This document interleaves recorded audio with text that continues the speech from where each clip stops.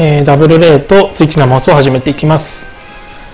少し、えー、と前の放送動画から日が空いてしまったのでちょっとプレイングの感覚とかうんいろいろ放送動画の設定とかでちょこっと忘れかけてるとこもありますがまあ頑張ってやって聞きたいと思います。ダブルレートシーズン12で特別対戦環境が動くような大きな大会とかまあなんていうのそういう記事とかは今のところ出てなくて、まあ、使ってるパーティーがヒードラン、ガルーラ、レイジュランドロス、化身ボルトロス、クレセリア、スイクン。このパーティーも割と長く今使ってるかな。まあいろいろ辛い相手はいるけども、まあマテンチボルトロスだったり。でも今はこの構築が自分には合ってるかな。あとギルガルドの処理がちょっと遅いのが問題かな。海外の公式大会はまだ VGC2015 だからえっ、と過去作のポケモン過去作限定の仕業とかが解禁されてない状態の全国ダブルなのでマケンチボルトロスとか絶対レドスイ君噴火ヒードランこのエビカメックスそのその辺もろもろがないルールで海外は、えー、と2015年がとりあえず終わるまではそのルールでやるんだけど日本のまあ、この今シーズン12とか日本のダブルバトルオフ会は結構おっとすいません。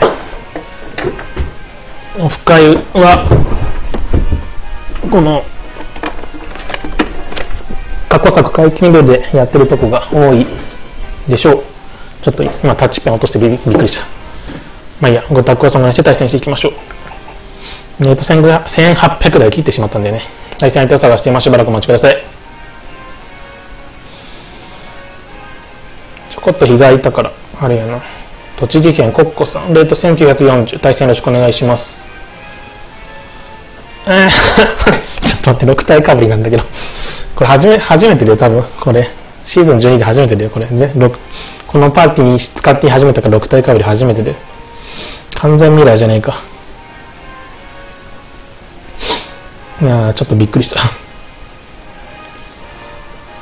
まあ並び 並びっていうか順置いてある順番が違うだけだけど、相手の並び並べ方は、ケシンボルトロス、レイジューランドロス、ガレーラ、ヒードラン、クレセリア、スイク。うん。まあなんかこのポケモンの構築での並べ方もなんていうの、その秩序というか、そういう様式美みたいのがあるから、こだわってる人はこだわるんだけど、僕はなんか適当に並べてますけど、どうしようかな。これはボルトロス、あの、いたずら心だと思うんだけど、相手、負けん気じゃなくて普通に。スイ君の処理が重くならないようにしたいかなっていうのが一つかな。どうしようどうしよう。なかなかめんどくさいな。で相手トリックルーム使ってくるのかどうか。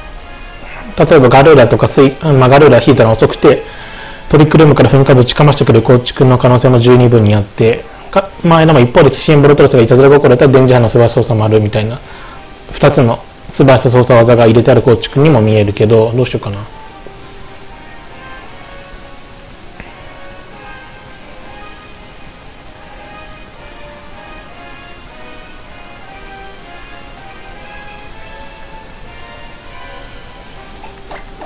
ランドスイ君ガル。クレイセイドラン。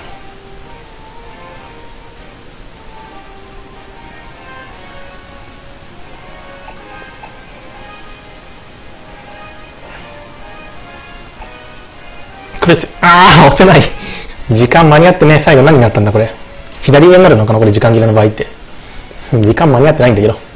迷ってたら時間終わっちゃったよ。えー、コッコさん対戦よろしくお願いします。相手の選手はボルトロススイ君。こっちの選手はランドロススイ君。ランドロスの特性威嚇が発動。まあ、素早さは相手のスイ君よりこっちのランドロスの方が速い。相手のスイ君のプレッシャー。でこっちのスイ君のプレッシャー。どうしようかな。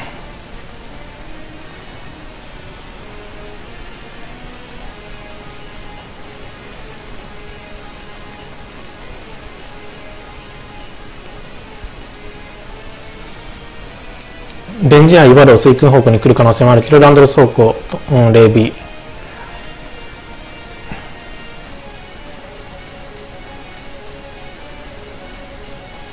岩なだれランドまだ削られない方がいいかな。トンボ帰り。スイクに守らないか。トンボ帰り。バックアウト。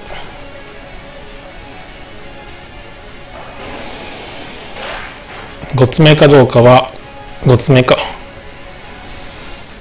とりあえずオボンとか食べ残しじゃないことは確認できた。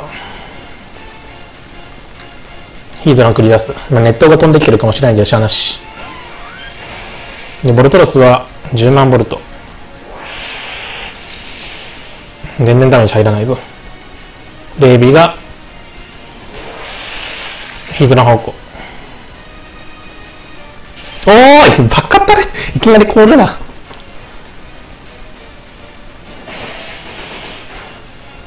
相手の特攻を1段階ずつ上げる。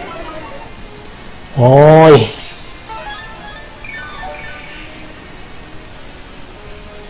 い。いきなりコールのなしでしょ。出落ちしたじゃないかヒードランが。眠る。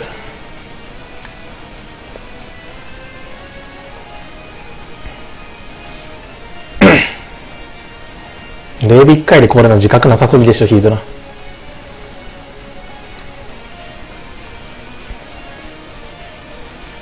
ボルトロスがスイカ方向にデンジャーイバル打ってくるかあるいはイスイスワって普通に10万ボルト打ってくる何してくるかな。ヒードランがこれの完全予想外だったからな。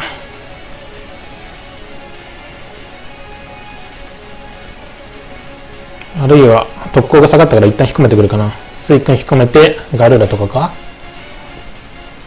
辛い。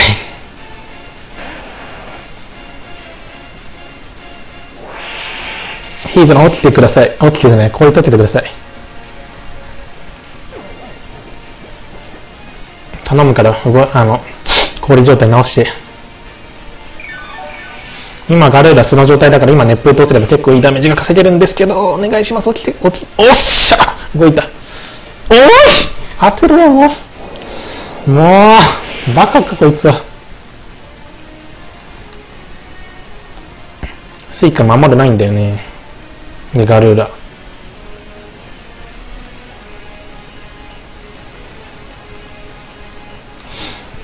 相手は一番ダメージ稼げるのがガルーラだから結託両ヒードラにスイ君方向にでうん。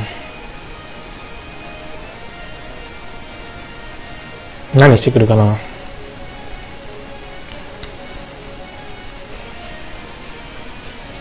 追訓方向にしてみたくるるいや何してくるかな。これでヒードラ守ってランドロス。相手のガール猫騙しと思ったけど捨て身タックルと10万集中とかだったらきついかな。相手のガルーラメガ進化。メガガルーラに。ドラが守りましたけども相手ガルーラ何してきてるでしょうか。猫だまし、まあ、ダメージ的には大丈夫。これ。まあししかしああ急所これ封止圏内入っちゃったかな。怖いな。10万ボルト。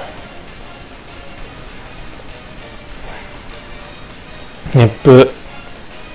ボルトが守るがあるかどうかとあとスイックに引っ込むかどうかだけどどうだろうな。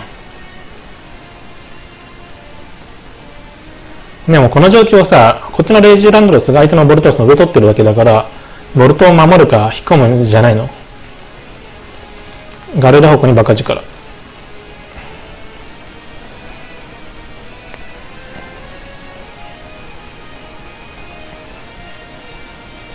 ああ岩名で打った方がよかったか。いかんちょっと辛くなったな。岩名で。あそうか岩名で打ってたらこれボルトが耐えてくる感じになる。ああよかった両方といく。まあ最悪の事態は避けたかな。一番嬉しいのは熱風で相手のレジランドスを燃やすこと。さすがにここでトンボ狩り打とうっていうタックが自分の中になかったからしゃあなし。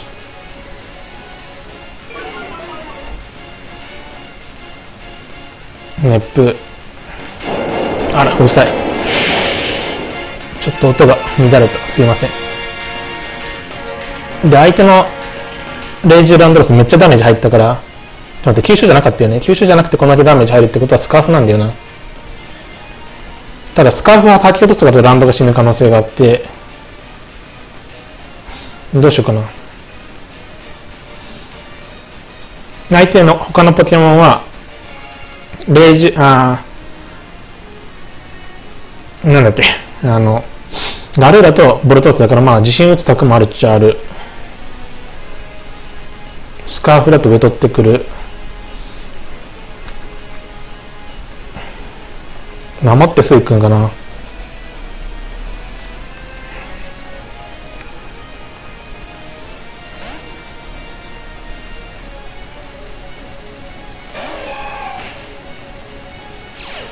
ああ、でもトンボ狩りとかだときついか。あれ、ラウンド守る？助けなのか、こいつ。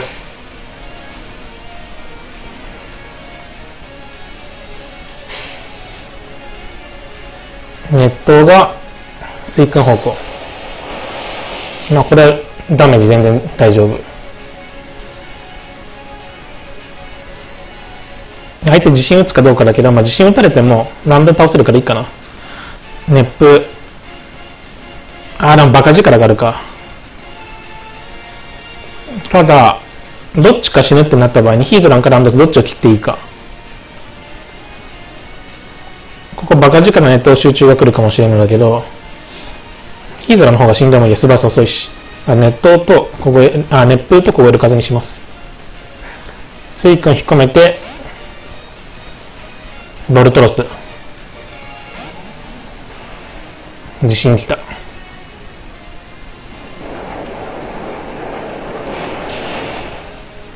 よしよし。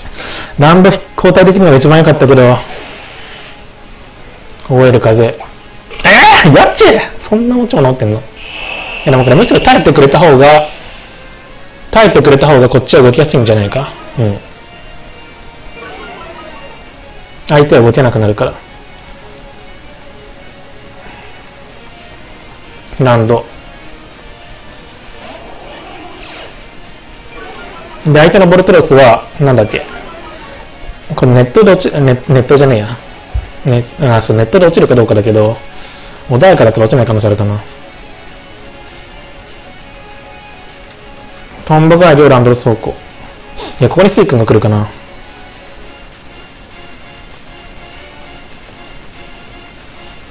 トンボが両ボルトル走行。スイ君凍える風。ランドル引っ込めて、出てくるのは、スイ君。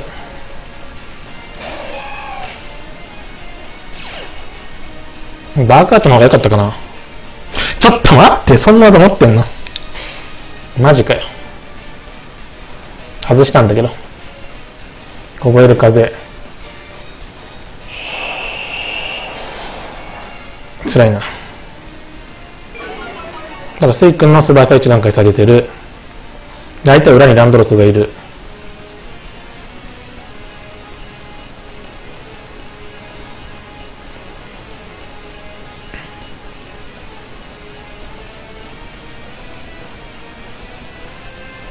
ゴツゴツネットの水君。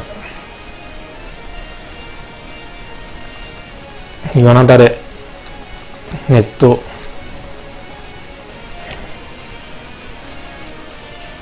レンジャー。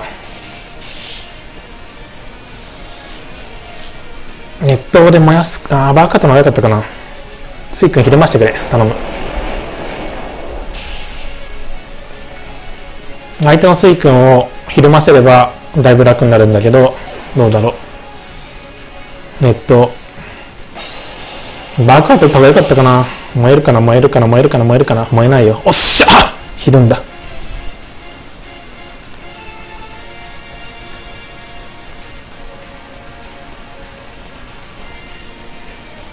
相手はガルーラ出すか、えー、レイジランド出すか？だけどガルーラ出す猫騙しでプレッシャーかけてくる感じだな。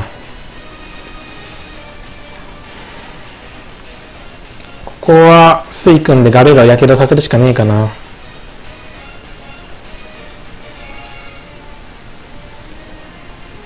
岩岩流れじゃあ相手のスイ君倒せない。相手のガルーラ守るあったっけちょっと待って守るあったっけ？守るなかったんじゃないか？ちょっと待ってよもう記憶怪しいんだけど。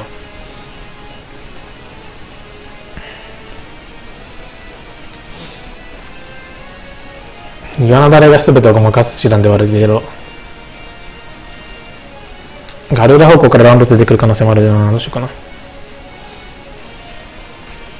岩のだれ。えっと猫魂がランドル走行これは生き残るけどまあスイ君の攻撃死ぬか。バークアウト。あーくそ。つらい。ネットを当ててやけどさせてください。お願いしますお願いしますお願いしますお願いします。やけどさせてください。動いてね。あーバカかれ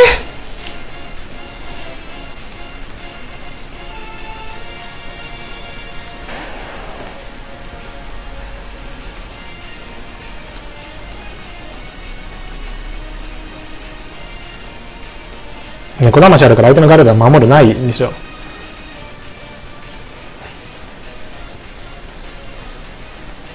で確か、えーと相手のランドロスも猫魂で死ぬ圏内だったはずだけど。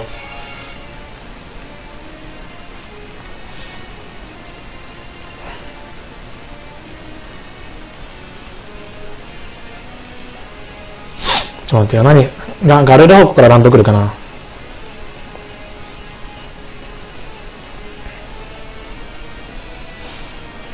捨て身タックルを水君方向。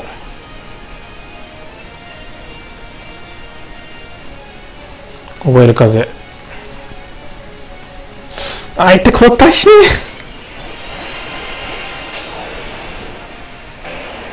え猫魂はガルーラ方向だったか？あかんしかも急所じゃねえか？無理だ。2連急所やべえ。マジかよ。まあどっちみちああでもガルーラガルーラ方向に猫魂ネットでやけどさせたら一番良かったか。やけどさせられたら。完全同じああしかまたねし。相手のボルトにこっちのスイ君が麻痺させられて行動不能ここまでで、えっと、しびれ2回起こしてるからそれも大きかったか。プレイングのところではヒードランを地震で失ったところがレイジュランドツを交代出ししてヒードランの地震直撃を避けられたら一番良かったかな。泣けちゃいました。大さんありがとうございました。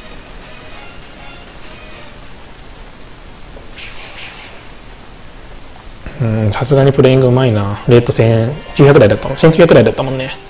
強いな。次の対戦いきましょう。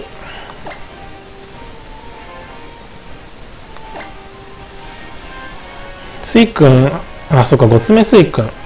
その場合相手のクレセリア持ち物何なんだろう。5つ目じゃね。オボンオボンとかかな。5つ目スイ君どうなんだろう？試してみようかな。今スイ君過去の実だったけど過去の実で眠る使うのなんか受動的な動きになっちゃうから。もうちょっと能能動的に能動的にまあ5つ目も能動受動的なアイテムだけどなんていうか。自分から技使わないと発動しないっていうのはあれもどうなの。過去の実スイ君の持ち物要検討ですね。アメリカのデデマデマントイドさん。レート1718対戦よろしくお願いします。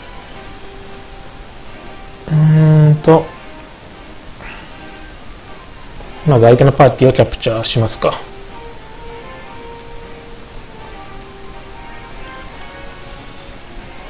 これなガルーラピッピだからグロパン型のガルーラかな。えー、ウィンディピッピガルーラ、えー、とローブシンキノガスタスイ君ガルーラがボコボコ積んでくるのはめんどくさいから全体技で殴れるといいのかな。でピッピーがいるんだけどボルトロスに挑発がないから積みを許しちゃう感じ。どうしようかな。素早さを落として上から殴る感じを作るかランドクレセ全体で使えるポケモンを大事にして感じでドランガルでいいんじゃないか。ボルトスイ君ボルトで電磁波っていうのは全員に通るけどスイ君。うーん、スイ君は一番こいつらに対しては打点持たれにくいポケモンではあるけど、あー、でもどうなのウィンディがバークアウト使ってくるんだったらヒドラも動きにくいっちゃ動きにくいか。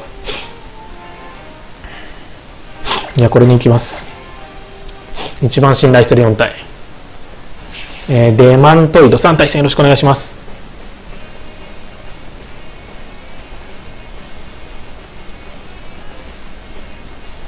デマントイドが勝負を仕掛けてきた。相手の選出はウィンディー、ピッピ。こっちの選出はランドルス、クルセリア。特性の発動順は、こっちのランドルスの威嚇が先。で、相手のウィンディの威嚇が後。つまり素晴らしいが勝ってると。ここ鬼火とか来そうなんだけどどうしようかな。耐えて鬼火打たれてもめんどくさいから、だからウィンディ5つ目とかだったらとか考える。ピッピ守るここは一番ないと思うから、トンボ代わりはピッピ。覚える風かな？電磁波でもいいんだけど、どうしようかな。バークアウト。最初電磁波にするか。トンボ代わりが決まる。ピッピはもちろん進化の地域で特性なんでフレンフレンドガールだったっけ？フレンドガールで味方の物理耐久を補佐する感じの方。で、このエリートまで使ってないから電磁がウィンディ方向に通るんだけど、持ち物がラムのみだったら回復されちゃう。のにび。え、そっちなのかよ。マジか。マジかマジか。なしなし。電磁波がウィンディ方向に。ピッピ積み上げ使ってくるとかひょっとして。何してくんのこれ。レイビだった。そんなに怖くなかった。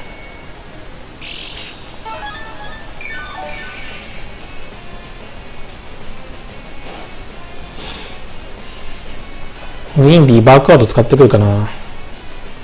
熱風電磁波ピッピ方向。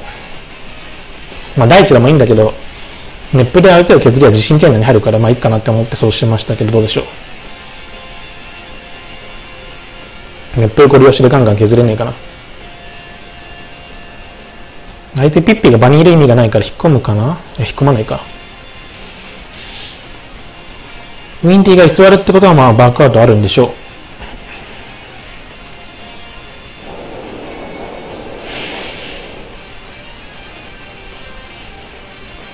クレフェアリー、ピッピはしびれて動けないバークアウト。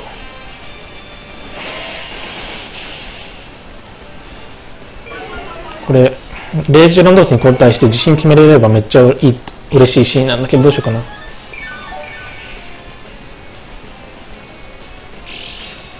年に食べ残しか。朝の日差しとか持ってるんだったら食べ残し型かな。ああ、間違えた。ごつめ型かなと思ってたけど、ちゃうんか。ここは交代出しがちょこっとだけ怖いから、最速ガルーラとか来ても怖いので、凍える風にしときますかね。スカーフガストとか来ても嫌だし。次のターン自信決められれば美味しいけど、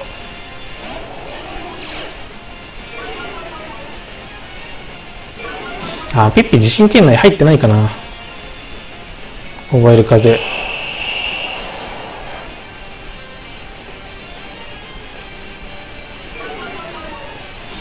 まだ地震圏内入ってないかな。フレンドガード補正がどんぐらいかかるのかよく分かってないんだよな。電磁波。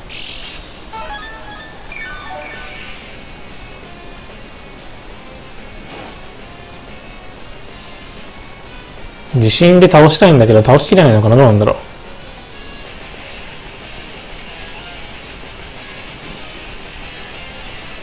トンボ帰り。月の光。まだ地震圏内に入ってないかもしれない不安があってトンボ帰りを選択しちゃいました。レンドガード補正でウィンディが耐えるでも威嚇入ったのと同じ状態だよね。防御が1.5倍扱いになるんだったら。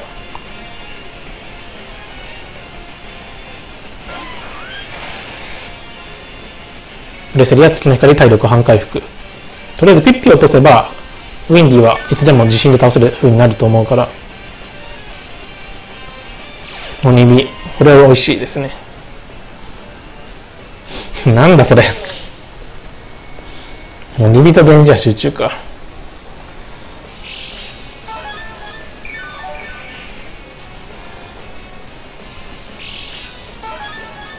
ピッピをさっさと処理したいんだけど、え、ー、と、クレセリアバーカード1回食らってると、ここ1段階下がってるから、急所とか、サイコ記念するの特防ダウン引かないときついかな。まあこれで最近の熱風で多分ピッピ落ちると思うけど、もらい火発動で、えー、炎技の威力が1.5倍扱い。バックアウト食らっても、まだ1等倍だから。ピッピは体がしびて動けない。サイコ記念スが決まる。これで熱風当てればピッピ落ちるでしょう。凍える風待ってるからウィンディよりも、えー、ヒードラの方が速い状態になってる。えー、素早さが1段階下がって3分の2のかけ3分の2の状態だから。バークアウト。相手でもまあウィンディ物理型じゃないからインファイトでヒードラ殴ってくるみたいな心配はないのでそこはまあ安心ですね。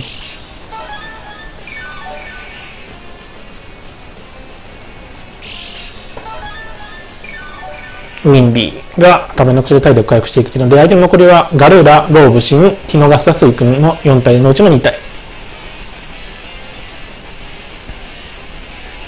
ガルーラ。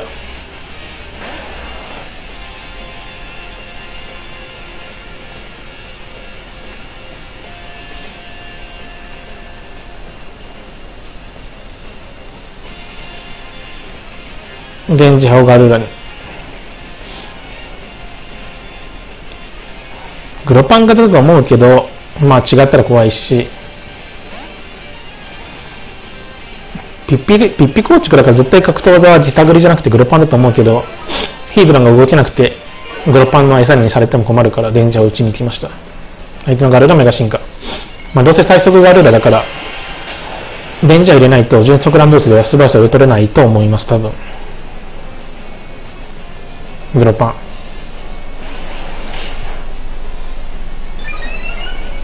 の罪が厄介なんだよね。グロパンガルーラ威嚇を入れたけどこれでまだ攻撃が1段階上がってる状態なんだよな。賞味。2マイナス1で。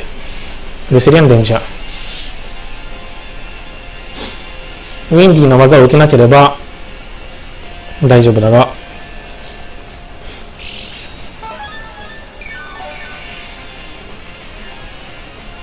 ここはガルーラを倒しに行きます。相手ガルーラの受け先いるかな。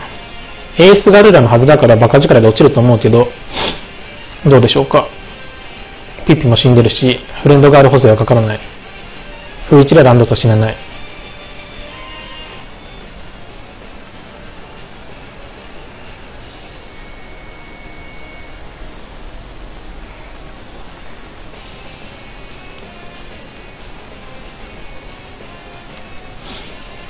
ちょっと待って、マジだよマジかよ。それ考えてねえわ。マジかよ。守らったの。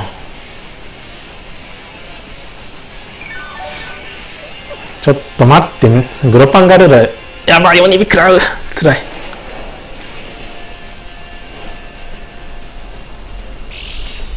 めっちゃつらい。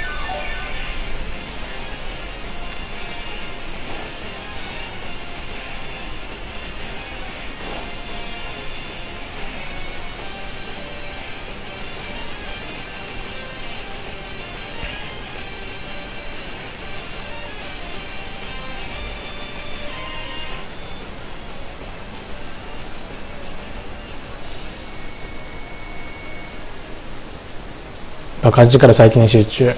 やつらいな。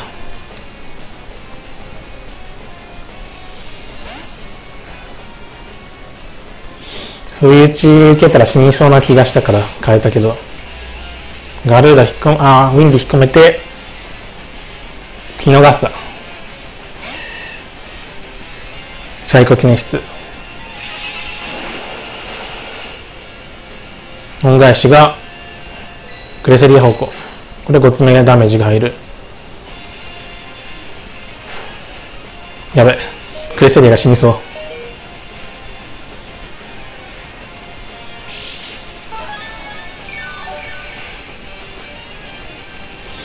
ヒードランが守る成功しないと危ないんだけど。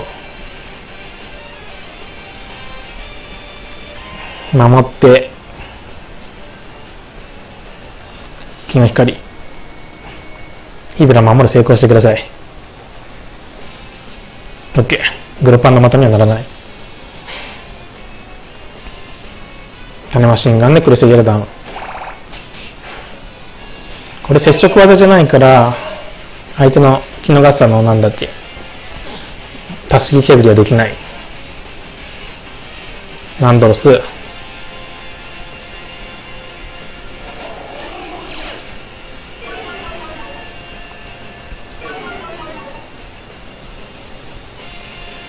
グロパンではヒードラ死なないから熱風岩流れかな。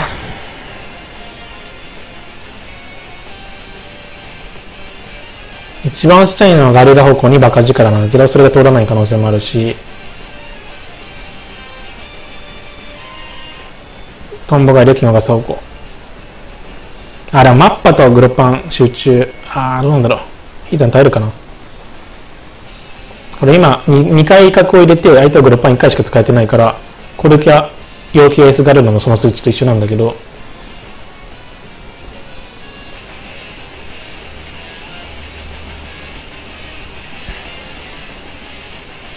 相手が交代するのはこっちのトンボガールで繰り出しするガルラには威嚇が入らない。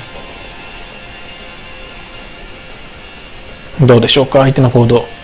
ガルーラを引っ込めてウィンディ。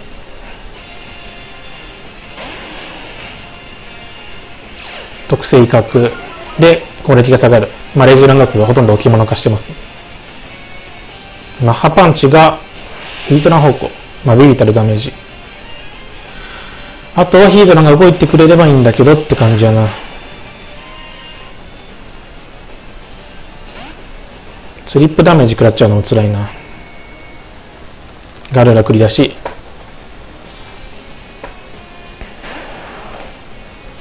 動いて熱風当てる。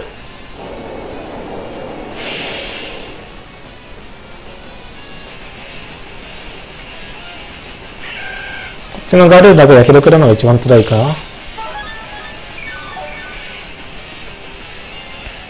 相手のウィンディもだるいな。どうしようかな。バークアウトグルパンでもきついしどうしようかな。ガルガルあでもここは猫魂先に入れるのか。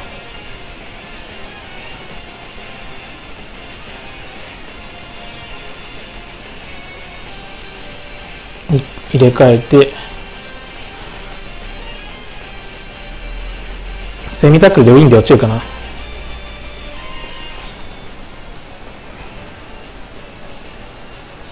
セミタックルを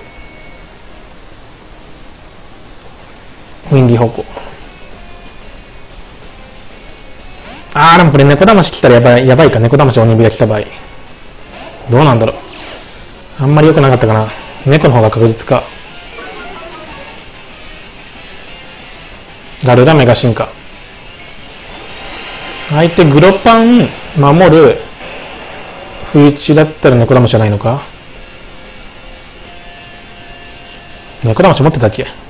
捨て身タックルウィンギにぶち込む。あー、落ち、落ちない？マジかよ。耐えるのかよ。鬼火食らうの辛すぎ。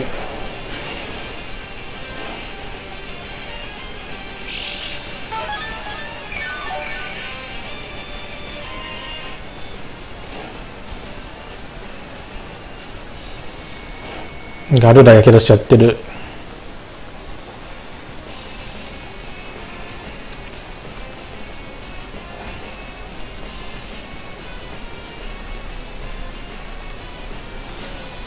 岩なだれ、けたぐり。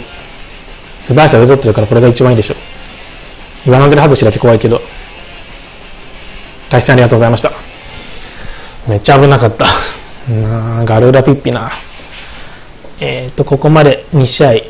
えー、最初が冷凍戦ぐらいの方に当たって負けて、今後、次が海外勢の方に当たって勝てた感じで1勝1敗で放送を終わろうと思います。えっ、と、ここまで WA と2試合ご視聴ありがとうございました。